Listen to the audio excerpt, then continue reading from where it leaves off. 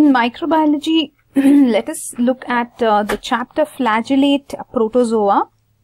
So flagellate, they have divided into flagellates 1 and 2. In flagellates 1, that's what we will look at now.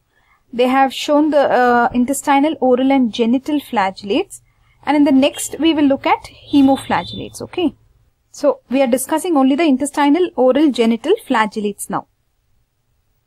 First of all, the classification.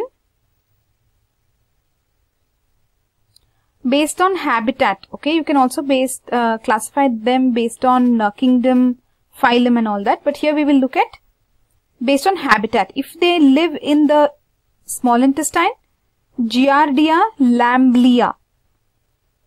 Large intestine, you have Enteromonas hominis, etc.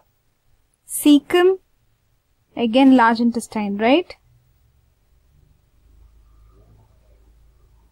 Colon, again large intestine, right? Mouth, you have Trichomonas tenax.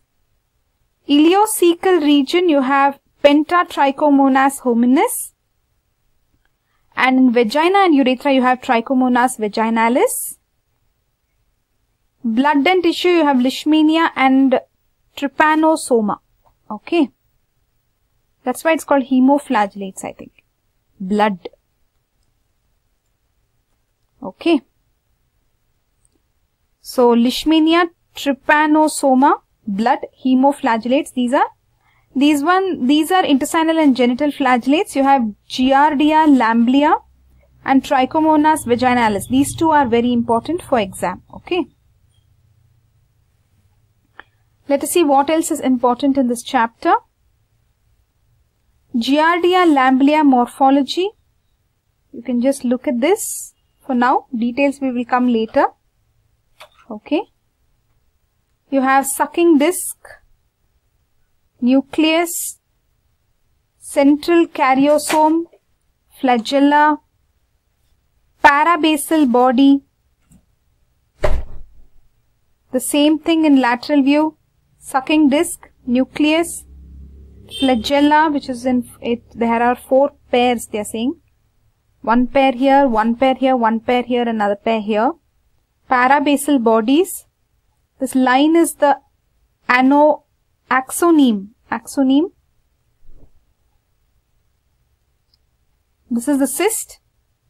You can see a thick wall. Axoneme is shown here. Four nucleus are there. Four nucleus will have central karyosome. You have sucking disc.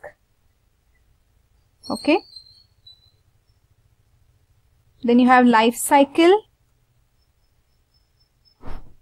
Life, life cycle of Giardia lamblia we have to learn. Trophozoites, they multiply by binary fission. Cysts, they encyst, they are passed in feces, so on and so forth. Duodenum, they where do they, where's the habitat? Duodenum and jejunum, small intestine parts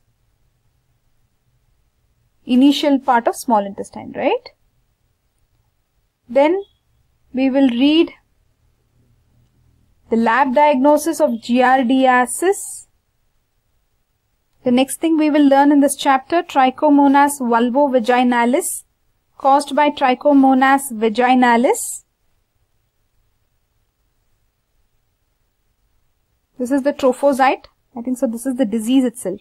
It's caused by what? Let's see. Trichomonas vaginalis is the name of the protozoa.